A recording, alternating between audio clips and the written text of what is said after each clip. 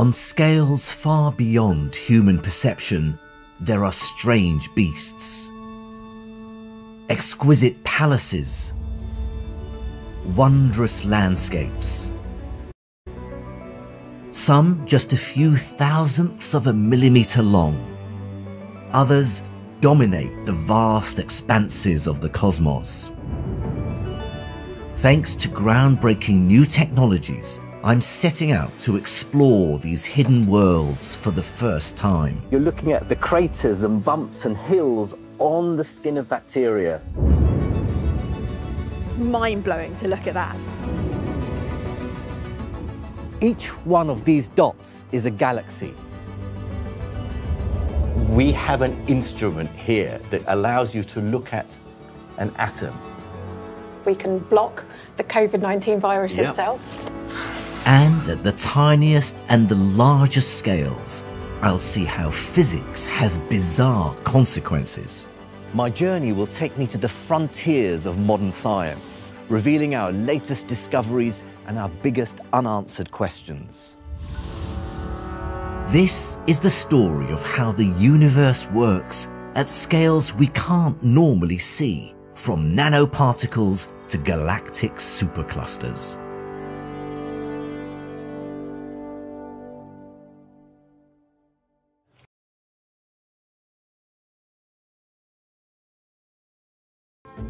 These are the very first images ever recorded of the microscopic world.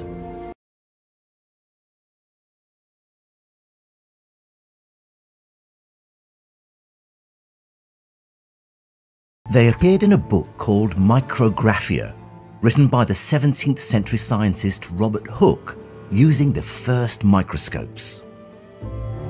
Even at this magnification, they seem so unfamiliar.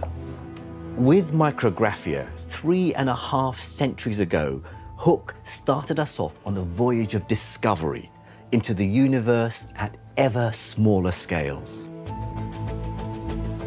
As we began to see the microscopic world, we realized that it's very different from our own.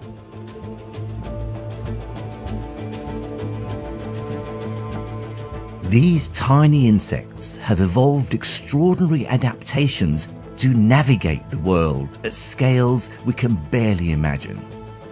Because when you're this small, the laws of physics have unexpected consequences. This is a type of wasp called Megaphragma, one of the smallest flying insects in the world.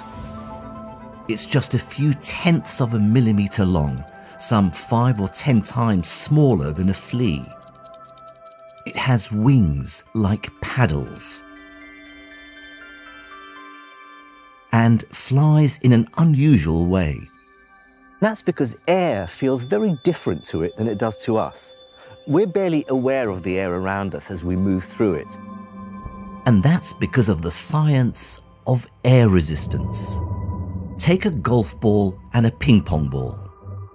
It's easier to throw a golf ball than a ping pong ball. They both have the same surface area and so feel the same air resistance. But the ping pong ball is lighter, with less momentum, and struggles to push through the air. Megaphragma is like a tiny ping pong ball, with little momentum for its surface area. So, to it, the air feels more like a liquid. And it's evolved its unusually shaped wings to swim through it. If you were to make this the size of a human, then it'd be barely able to move its wings, let alone use them to fly. Yet it's so successfully adapted to the world in which it exists that in recent years, entomologists have found them all over the world, from Africa to the Pacific to South America, even in the woods outside London. When we look at even tinier objects, 10 times smaller than Megaphragma, we come to the scale of a typical animal cell. As we increase magnification, the laws of physics become ever more strange.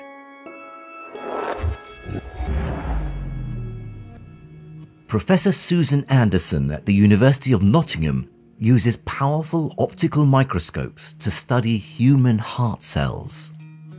So, what is it we're seeing there? So this is the sort of detail that we get in a light microscope. We have lots of individual cells here, so we can see individual cells.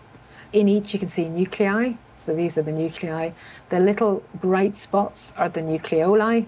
This is the edge of the cell, and then the cytoplasm of the cell, you can't really see any detail inside. So, why is it that you're looking at these? The useful thing about this is that we can see cells, dynamic cells. So the cells that we're looking at here are human heart muscle cells. So we can actually see them beating. Oh, wow. Right, yes. Yeah. Seeing them beat in such detail means scientists can begin to understand why they go wrong. you can see the nucleus, you can see the outline of the cell here. You can see lots of them beating at about 30 beats per minute, which is about half the rate of a human heart. They're from a living heart. it would be difficult to, to do that ethically. So what we do is we obtain stem cells from human skin. Uh, we reprogram the human skin cells back to stem cells and then we direct them down a differentiation pathway to being muscle cells. And we can obviously see that they are contracting and beating like a heart muscle cell. What's actually happening here? The cytoplasm contains lots of contractile filaments and they're shortening and lengthening so that the cell beats. There's a whole community of cells here that are talking to each other and they're passing that signal from cell to cell and they're beating en masse. How does it make you feel when you're looking at these living cells? I love them. They've got personality. You know, they they do what they want. If the light here is too bright, they will just move. They will just walk away. They're very entertaining. Microscopes are key to understanding cells because right across the living world, they're tiny compared to most everyday objects. For instance, a 200 ton blue whale and a tiny megaphragma are both made of cells that are similar in size, roughly between a hundredth and a tenth of a millimeter across. Why are cells this size? The answer lies in the fact that in certain crucial ways, small things are much more effective at interacting with the outside world than big things. Here is a lump of titanium. It's a very reactive metal, and I'm going to try and burn it. Nothing. But here is also titanium, but it's been crushed down into a powder.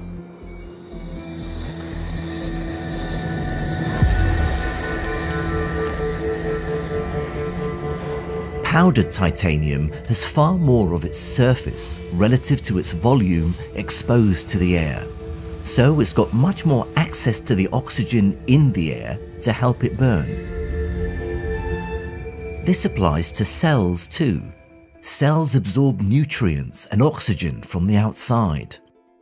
Being small and therefore having a large surface area to volume ratio means they can do this very effectively. If they were significantly larger, they wouldn't be able to take in what they need to survive. Ultimately, though, there's a limit to how small they can be. Cells are full of stuff the nucleus, mitochondria, ribosomes. So it's a balance between making them small enough to maximize their surface area to volume ratio, yet big enough for their parts to perform their function. And their shape is crucial too. For instance, some cells have found a way to increase surface area without changing volume. The cells in the walls of our digestive tract absorb the nutrients needed to sustain our entire body through their surface. So this surface needs to be as large as possible. How do they do this? How can cells maximize their surface to volume ratio without getting any smaller? Well, imagine this balloon as one of those cells. How can I increase its surface area without making it significantly smaller? Well,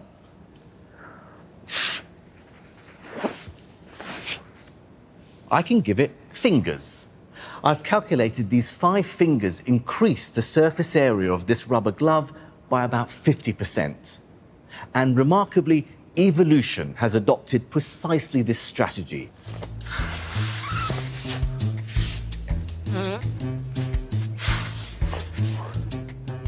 Welcome to my digestive tract. These protuberances are called microvilli. They're each about a thousandth of a millimeter long, but just a few molecules wide. And there are millions of them. They stick out from the cells, dramatically increasing their surface area and therefore their ability to absorb nutrients. Of course, the real thing is rather more impressive. Scientists have calculated that because of the microvilli, our intestines have increased their surface area by up to 15 times.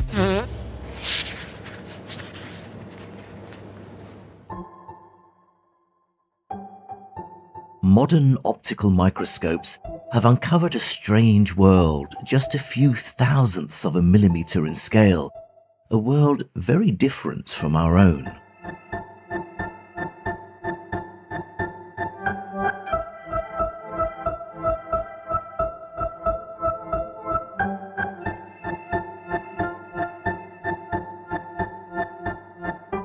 All revealed by a device that is essentially remarkably simple. This is a modern but pretty basic compound microscope, and it works on the same principles as Robert Hooke's microscope from 400 years ago. It's so simple, really, because you just have two lenses, one in front of the other, and adjust them until you get the sharp magnified image. The second lens multiplies the magnification of the first.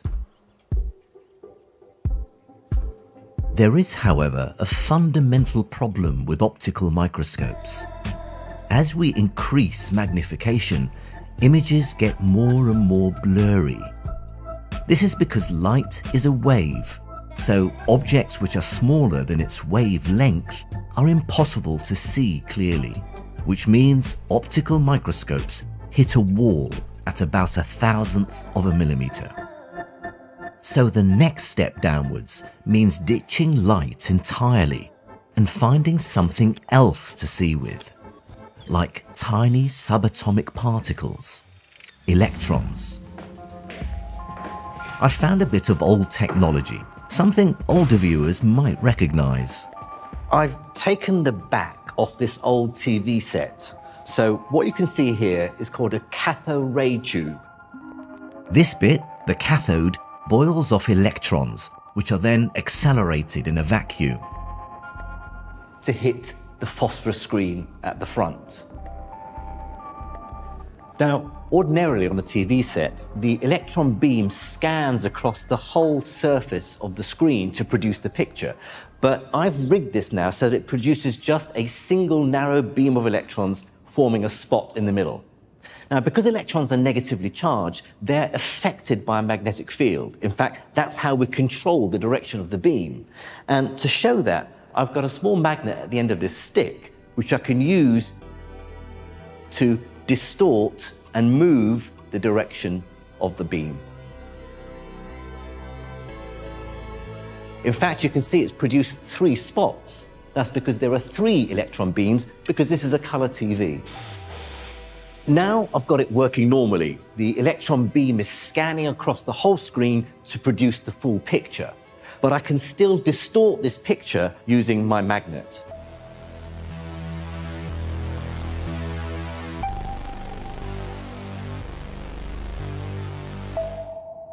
So if magnets can be used to control and direct the path of an electron beam, they can also be used to focus a beam of electrons in the same way that a glass lens can be used to focus a beam of light. And this means that we can use electrons to make an electron microscope.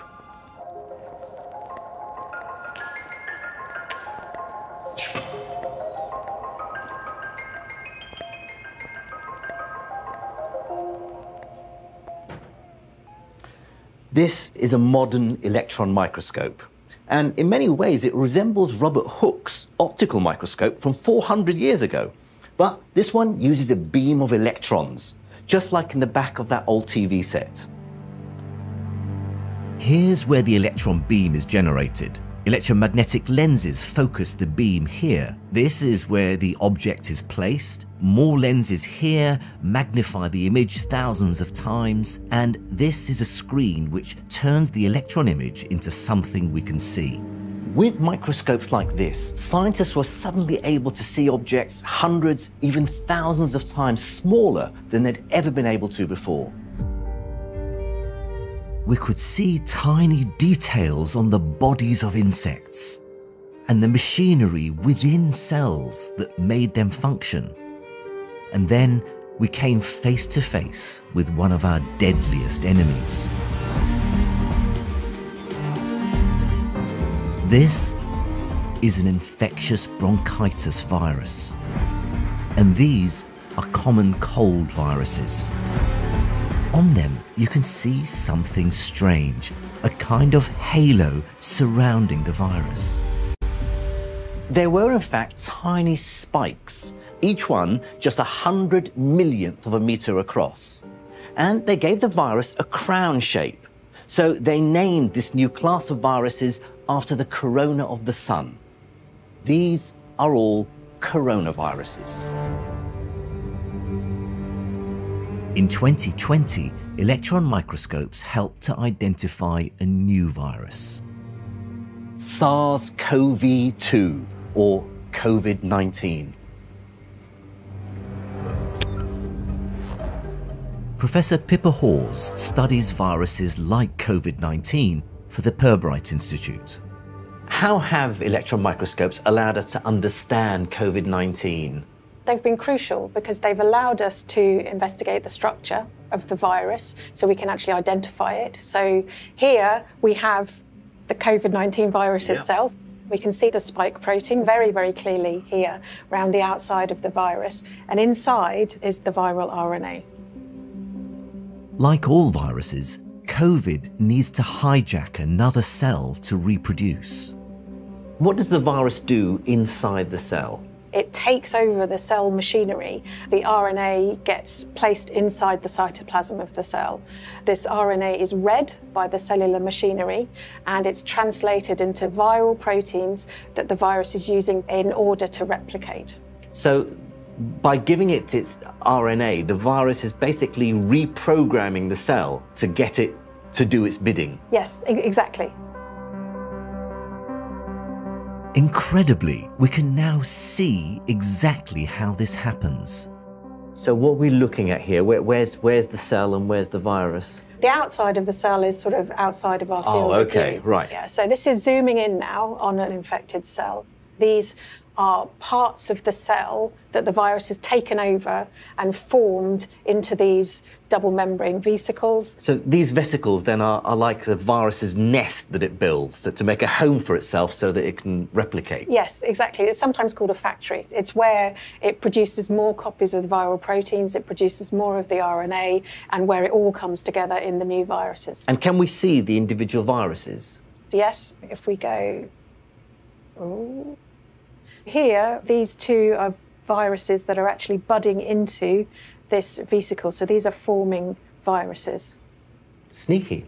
Yes, And so, understanding this, I mean, does it allow us then to combat COVID 19? we need to know how the virus infects, how it replicates, and how it leaves, which would help with antiviral treatments to prevent the disease.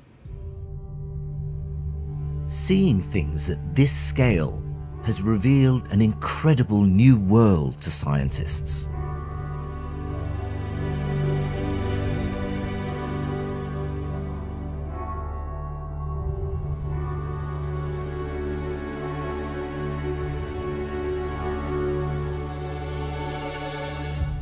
They could see and begin to understand how genetics worked by seeing single chromosomes. They could watch a white blood cell attacking an infection. And they could now see beyond the living world, deep into the materials that surround us. How cracks move through metals. Then, in 1991, a group in Japan saw this. Strange shapes forming at the end of a sparking filament. 10 times smaller than a virus, they were carbon nanotubes, each a long cylinder whose walls were just a single carbon atom thick. And they had unexpected properties, which has led to an explosion of fascinating new materials. This is one of the blackest materials in the world. See, it might look to you like a flat black square, but in fact, if you look at it side on, or even at the back, you can see it's got contours, it's got dents. And yet, looking at it face on, there's nothing, just pure blackness. Now, normally when we see objects, light bounces off of them into our eyes at different wavelengths and different angles so we can see color and shape. But this is like a Harry Potter spell. Light falls on the surface and then just disappears forever.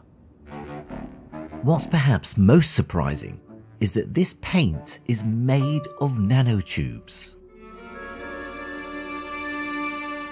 The paint, called Vantablack, is the invention of nanotechnology scientist Ben Jensen.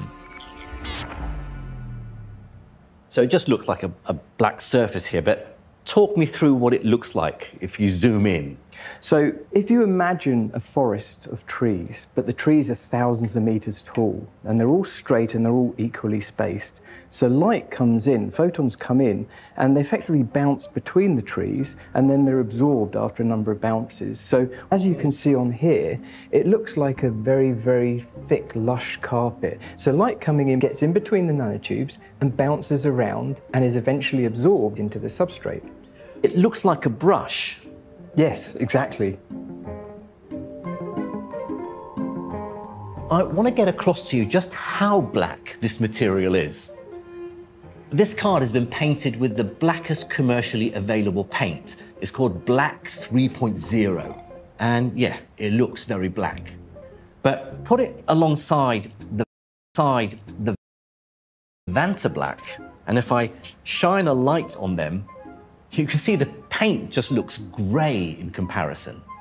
And even more impressive, if I make an angle so that the light bounces off the surface and hopefully into the camera, you can see that this paint looks a lot brighter because the light has been reflected. But if I do the same thing with the Vantablack, you should see no difference at all. All the light is being absorbed, none of it is reflected. What is it useful for? So its main uses are in satellite systems for controlling stray light from the sun, the moon, and the earth when you're looking out at stars. It's also used for calibrating infrared cameras that look at the Earth for global warming studies. And terrestrially, um, it's used to protect cars with autonomous driving modes from sunlight entering the camera systems and causing ghosting and loss of signal. For me, this is an entirely unexpected and surprising property of nanotubes. And more importantly, this is nanotechnology that we can see, or rather, not see.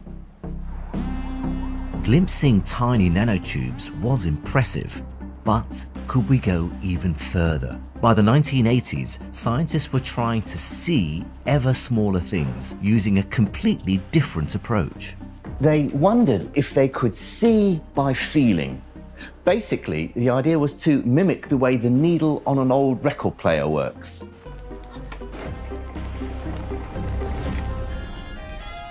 A stylus passes along a groove on a record, and the tiny bumps vibrate the needle, making music.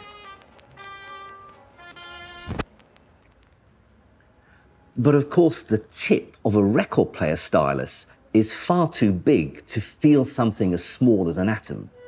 But then in 1982, two scientists, Heinrich Rohrer and Gerd Binnig, had an ingenious idea.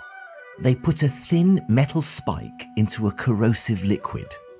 Using electrical currents, they slowly dissolved away the tip of the spike so that just a very thin needle of metal remained. Its tip was just a few atoms in diameter. But how could this needle see? One idea was to harness an unusual force of nature. This is a gecko. Its feet stick to the glass using a tiny attractive force called the van der Waal force. Van der Waal forces exist because of a rather quirky aspect of atoms and molecules. Think of an atom as a tiny positively charged nucleus surrounded by a cloud of negatively charged electrons. But crucially, these electron clouds aren't static. They fluctuate in shape, often randomly. So the clouds can become lopsided with more electrons on one side than on the other. Because opposite charges attract, the negative end of one molecule is pulled towards the positive end of another. The force that an individual atom feels is, of course, minuscule. But these effects can add up. And this in turn means that the molecules on the surface of an object can sometimes feel pulled towards the molecules on the surface of a nearby object. And that's what the gecko is taking advantage of. A gecko's feet are covered with billions of tiny structures called spatula. When these press against the glass, they flatten out, creating a huge surface area. Billions of atoms are now in contact. Then the tiny van der Waal forces combine and hold the gecko in place. And this was one of the forces Binnig and Rohrer believed they could harness. When a tiny stylus, and remember its tip is just a few atoms wide, approaches atoms on the surface of the material, this is when the van der Waal forces come into play. Just like the spatula on the foot of a gecko feels an attractive force between it and the molecules on the surface of the glass, so the stylus feels a force pulling it towards or pushing it away from the atoms as it passes over the surface.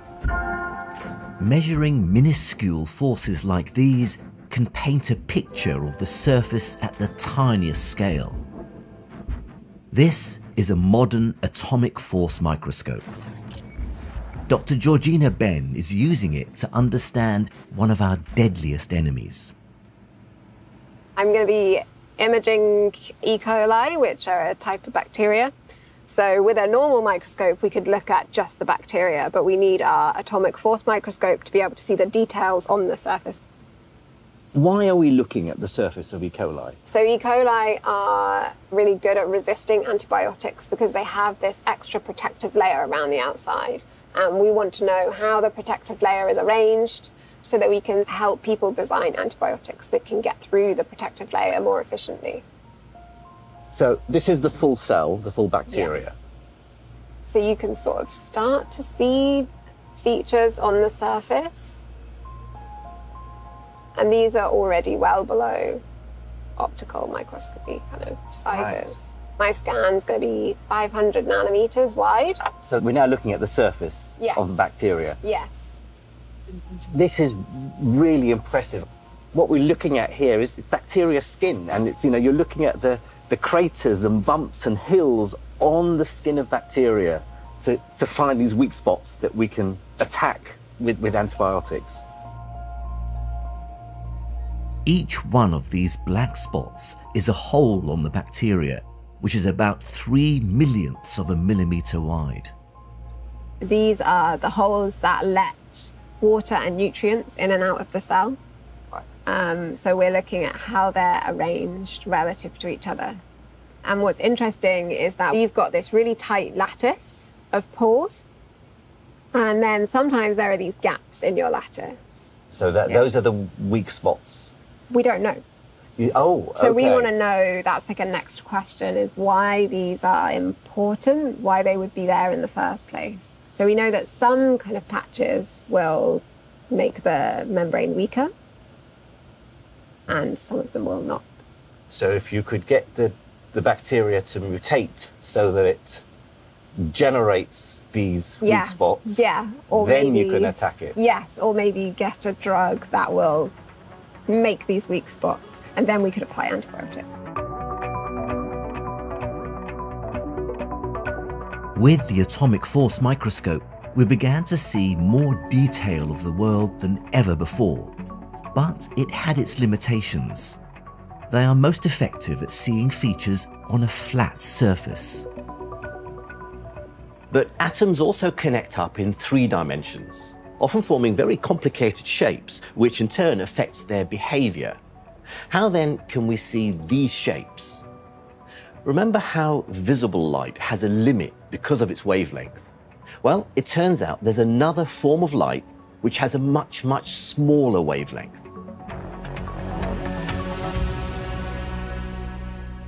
X-rays. Crucially, X-rays have very short wavelength when compared to visible light. Now, the wavelengths of visible lights are just under a millionth of a meter, but the wavelengths of X-rays are typically several thousand times shorter, at around a tenth of a billionth of a meter. But there are many differences.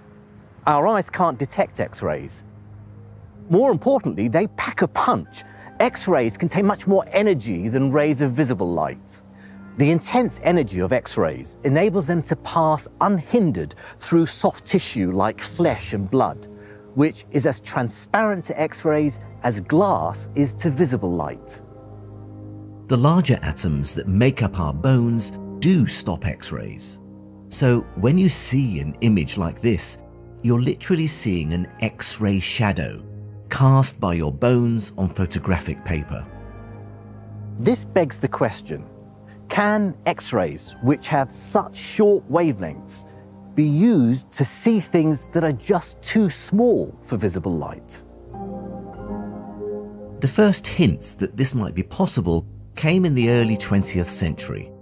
Scientists noticed that when they shone X rays through crystals, they produced weird spots arranged in patterns. These images may not look like much, but think of them as a kind of code. And by cracking it, you can deduce the way the atoms in the crystal are arranged. This process of turning images like these into an understanding of how substances are structured down at the atomic scale is known as X-ray crystallography. For a sense of how X-ray crystallography works, let's say each of these Christmas trees represents one of the atoms that makes up the crystal. To keep it simple, let's say they're all arranged in neat rows, just like these trees. What's important is that the wavelength of the X-rays striking the crystal is about the same as the distance between the rows of atoms or the rows of trees in our analogy. Imagine an X-ray reflecting off the surface and the layer beneath. The beam that travels down to the next layer has a longer journey, and that is key. If the waves are now out of step and the peak of one coincides with the trough of the other, they then combine and cancel out. But if they're in step, the peaks combine, making a larger wave and a bright dot on the screen. By carefully measuring the angle at which the X-rays strike the crystal, where the dots appear, where they disappear, you can deduce the structure of the crystal. By decoding images like this, scientists in the early 20th century were able to deduce the structures of simple crystals like rock salt. The atoms are arranged at each corner of a cube, and the cubes repeat to form a 3D lattice. Most importantly, it meant we now knew the distance between the atoms. It's a third of a billionth of a meter. But for me, the story of X-ray crystallography really comes into its own because of one of the great heroes of British science, Dorothy Crowfoot Hodgkin. At Cambridge and Oxford in the 1930s and 40s, Hodgkin became fascinated by X-ray crystallography and she quickly established herself as one of the leading researchers her first big challenge came during the Second World War and her work on penicillin. Scientists had already noticed that the newly discovered penicillin had incredible antibacterial properties. It could stop infections in their tracks, literally bringing patients back from the brink of death. Now, in the throes of war, understanding it and producing it in quantity was more important than ever. But penicillin was still a mystery, with a handful of atoms arranged in an unknown structure. So Hodgkin set her laboratory a challenge use X ray crystallography to learn its structure. Georgina Ferry is a science writer and biographer of Dorothy Hodgkin. Tell me about penicillin. What was so difficult about understanding its structure? The structure was unknown. Uh, and naturally, the organic chemists all came to Dorothy and said, Would you like to have a go at this? The first problem with it was that it doesn't make terribly good crystals. These, these are not ideal for putting into the X ray apparatus. It took a while before they managed to get a version of penicillin that she was able to get a good image from. That image looks like this. The, these are spots on photographic film that have been made by X rays coming out of the crystal and hitting the photographic film. The dots are at different intensities. Some of them are very black, there's some down here that are very faint. And what she had to do was carry out a complicated mathematical calculation, which then enabled her to begin to understand where there was what's known as density in the molecule and in the crystal. And density means there's an atom there. And the final stage, once you've done all those calculations, is to to essentially draw a contour map. This represents a slice through the molecule, and the numbers that are written down uh, represent the density of the electrons. And what she's done is join up areas of equivalent density, and that shows you that's a place where there's an atom because there's a so lot of intensity there. We're looking at a 2D picture here. So, how did Hodgkin then go to the full 3D structure? What you want to do is take a number of slices, stack those one above the other, and that'll show you the three dimensional structure of the molecule. So you can see what we've got here is a stack of perspex sheets at equal distances apart, and on each sheet you've got the contour lines drawn as we were looking at mm. before. And if you're looking down from the top, you can see the three dimensional structure. This is the structure of penicillin that Hodgkin came up with after some four years of research. These are the carbon atoms, and they're connected by chemical bonds to other atoms oxygen, hydrogen, nitrogen, sulfur. But it's this section here that explains its incredible efficacy. It's called a beta lactam ring, and it seems to give penicillin its wondrous ability. It binds to a part of the cell wall of most bacteria, killing them dead. Understanding how penicillin works was a revolution in medicine. Hodgkin's work spawned a generation of new antibiotics, effective against many aggressive bacteria, saving millions of lives. And these techniques, still widely used today, famously went on to unlock the structure of DNA. Despite the achievements of X ray crystallography, it was still an indirect method of seeing and only worked for crystals. To see even smaller things would require something else. It seemed electron microscopes held the most potential. But they had a huge technical problem. Their electromagnetic lenses were fundamentally different from glass ones. One of the most common problems that affects lenses is called spherical aberration.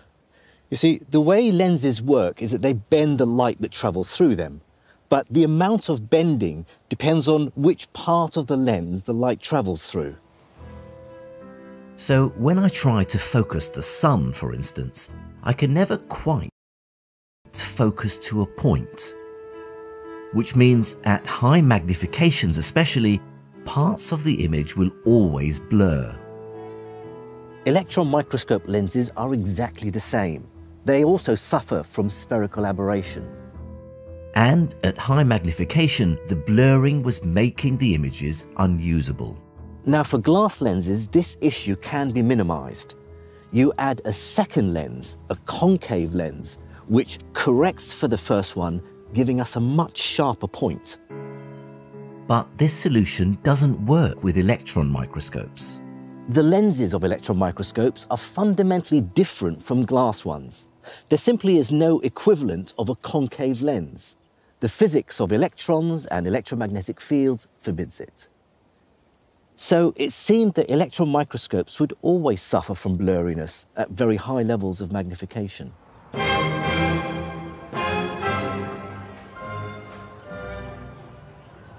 The question was whether we could delve deeper to see even smaller. Well, the next breakthrough that changed everything took place here in Germany.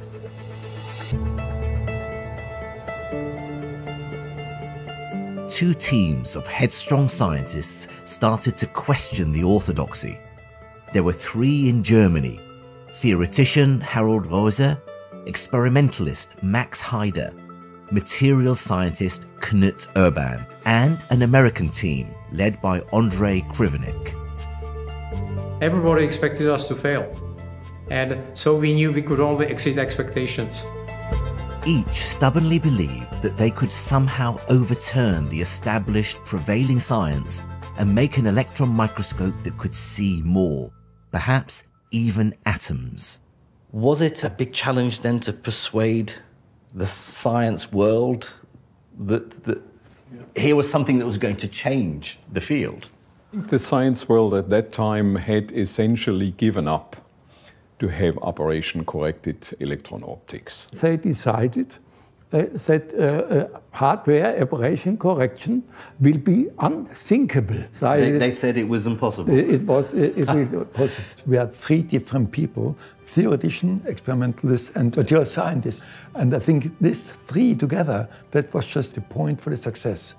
Their approach used multiple electromagnets, multipoles, to distort the image, squeezing out the worst of the aberration. Then a second lens reformed the image, now almost aberration free. But getting it right was challenging. It would require sophisticated arrangements of multipoles, sensitive cameras, and powerful computers. And here, for example, we have one hexapole, and as you can see here, we have six poles with six coils. They are just connected to each other, and then we have a north, south, north, south, and the beam passes through this hole here. That means first we change the shape of the round beam to a triangular shaped beam, and then to combine it with second hexapole to have a round beam so again. again. For years, they struggled to get their new lenses to work, and the rest of the scientific community remained skeptical. I had a lovely comment from a professor at Stanford who told me, uh, Andre, you're bearing your career. But then, in June 1997, their stubbornness began to pay off. And soon they caught glimpses of the building blocks of all matter with unprecedented clarity. Here's a typical image without aberration correction. Now, watch as it's added in. The white blurs resolve into two clear dots, each one a single atom of silicon. Finally, you could see atoms. This was a real jump in innovation. This was a real paradigm change. What was it like when you saw those first images? Seeing is believing, and the mission impossible was not impossible. They had achieved a scientific miracle. It was like if you have a huge fog, but suddenly the fog goes, suddenly you see everything. A new kind of electron microscope. It was brilliant. Everything was so unbelievable. And this is the most important effect of aberration correction. By 2020, they'd gone from academic outcasts to world renowned scientists. The images that came out are truly spectacular. Like one of them on the cover of Nature, that's kind of like if you're a model and you get on the cover of Vogue. And they had defined a new kind of science. I think we are on the way to make high precision electron microscopy a part of science in general.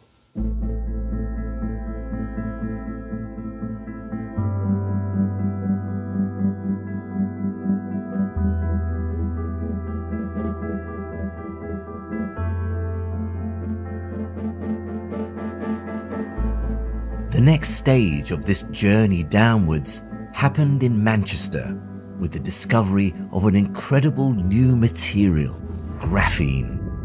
The new electron microscopes revealed that graphene was a sheet of carbon just a single atom thick. And incredible strength was just one of its unexpected properties. So, just how impressive is graphene? Well, I've come here to this lab to carry out what's called a stress test. I've got two strips of plastic here. It's a stretchy polymer. One of them is just the pure polymer, the other contains just 3% graphene mixed in with it. And I want to stretch them to find out how much force is needed to snap these strips. First up is the pure polymer.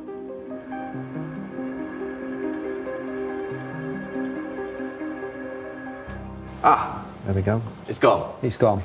So that snapped at 533 newtons. 533 newtons. So that's about two, two, two bags of cement. Two bags of cement. So now you're going to swap it with the, the uh, Yes, I'm going to reset.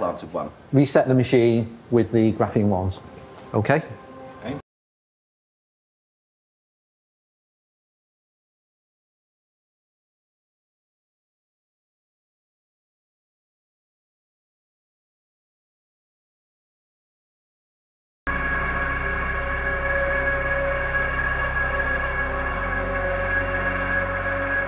Okay, so it's now hit 500 newtons. We've now already overtaken the non-graphene. Yes.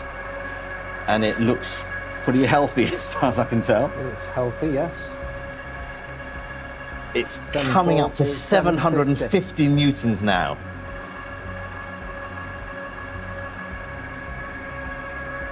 We're now. And now it's it's, it's come up to a thousand newtons and still going strong.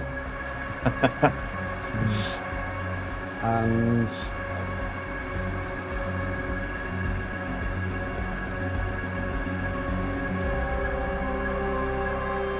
Oh, so that was about. So the final force was 1,074. So that's double. Twice as much force was needed to snap this polymer compared with the one without the graphene. That is pretty impressive. A, a huge improvement with just a few percent of, of, of graphene mixed in with the polymer. That's incredible. Graphene has shaken the scientific community to its core, and yet was discovered almost by chance by scientist Andre Geim as he was searching for ever thinner slivers of graphite. Talk me through what happened on that night when you realized your eureka moment. 20 years ago, I realized that just taking scotch tape, putting piece of graphite uh, between the scotch tape, peeling the scotch tape like that leaves small pieces of graphite. Is it something we can demonstrate yeah, here? Because we yeah, have a piece of graphite. Yeah. You, you can take this piece of graphite and without much trouble, you can, of course, make it thinner by repeating this procedure. But if you shine lines through, you eventually start finding flakes which are transparent. And that actually was eureka moment because being reasonably well educated, I realized that if uh, flakes of graphite transparent, they are really, really thin. Probably initially those were 10 layers thick, but eventually we went down to a single layer. It's hard to overstate just how excited scientists and engineers are about graphene. So let me just remind you what graphene is. It's just a single flat sheet of carbon atoms all bonded together. But that would be really underselling it, because at around a third of a nanometer, it's just a single carbon atom thick, making it the thinnest material ever made. For a sense of why graphene is so extraordinary, we have to understand its physics at the atomic scale. Each sheet is made up of repeating hexagons. At each corner is a carbon atom that's bonded powerfully to three others. Those bonds are the source of the material's strength, but they also seem to produce other strange properties. Each carbon atom bonds to its three neighbors by sharing electrons with them. But not all the electrons are used for this. One electron from each atom is spare. These free electrons can zip around unhindered. And this has huge consequences because it means that graphene can be made to conduct electricity incredibly efficiently. There are high hopes that it will enable new kinds of electronic components, revolutionizing batteries with much greater storage, and also solar power generation, water filtration, material science, and quantum computing. Of course, this is still early days in graphene research, but there is without doubt much to play for. The discovery of graphene brings us towards the end of this story. Because with the newest aberration corrected electron microscopes, we're now able to see on the smallest scales imaginable.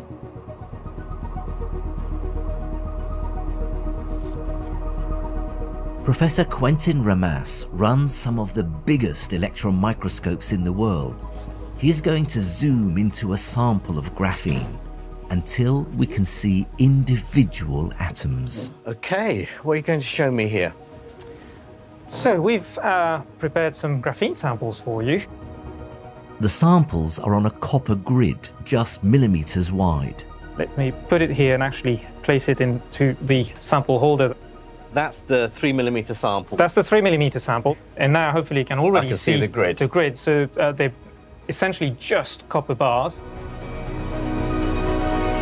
Under the optical microscope, I can just make out holes in the sheet of carbon within the grid where the graphene flakes are.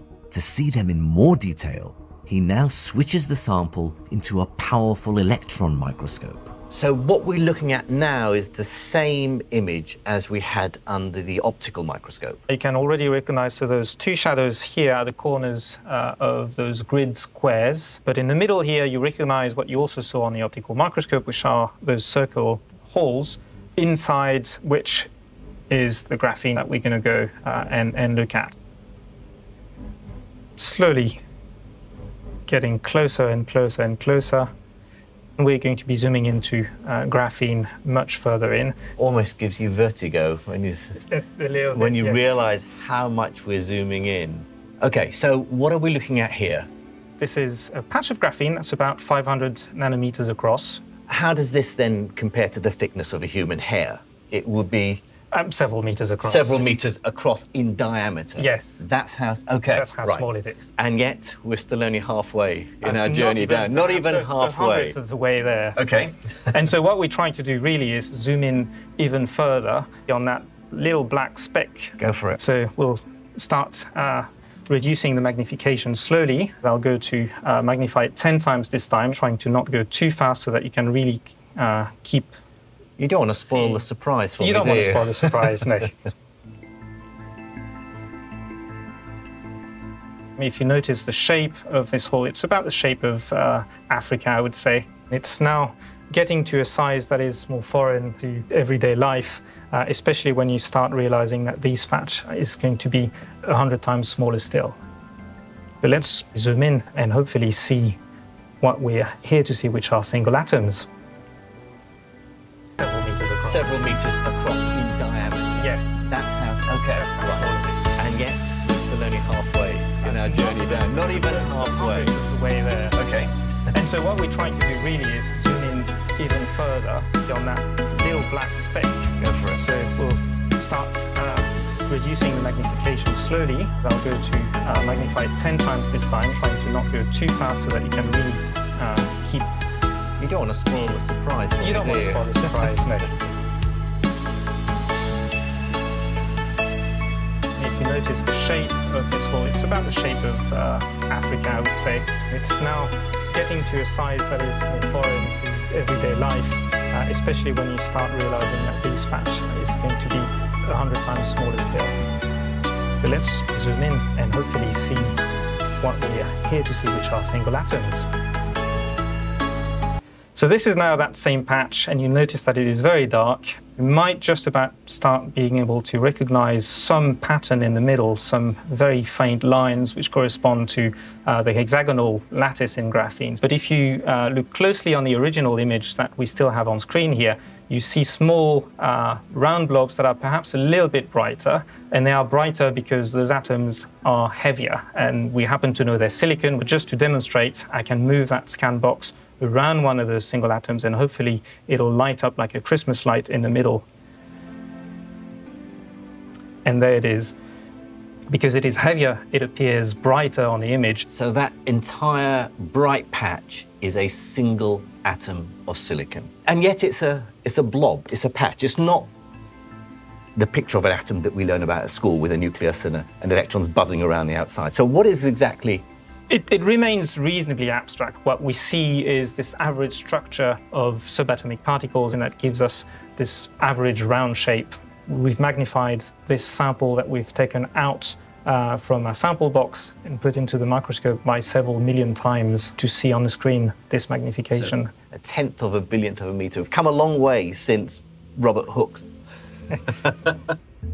For me, as a theoretical physicist, an atom is just abstract mathematics, an equation, an idea. But to see one of them with my own eyes, the building blocks of everything, just 10 millionths of a millimeter across, is nothing less than miraculous. I still can't get my head around the fact that I'm looking at individual atoms. Well, look, I'll tell you. I mean, I've spent my career studying atomic nuclei, but it, for me, it's always been it's been abstract. The notion that we're looking at an individual atom here, and, and I always I, I love the analogy that there are there are more atoms in a single glass of water than there are glasses of water in all the oceans of the world. Right? Atoms are tiny. They are tiny. The fact that we have an instrument here that you allows you to look at an atom. I, I, does the, the novelty doesn't wear off? It definitely doesn't. No, it might be either uh, simple-minded or single-minded, but uh, it's it's seeing those single atoms is, uh, I think, something I'll want to do for the rest of my life, and it's just a, a wonderful thing to see.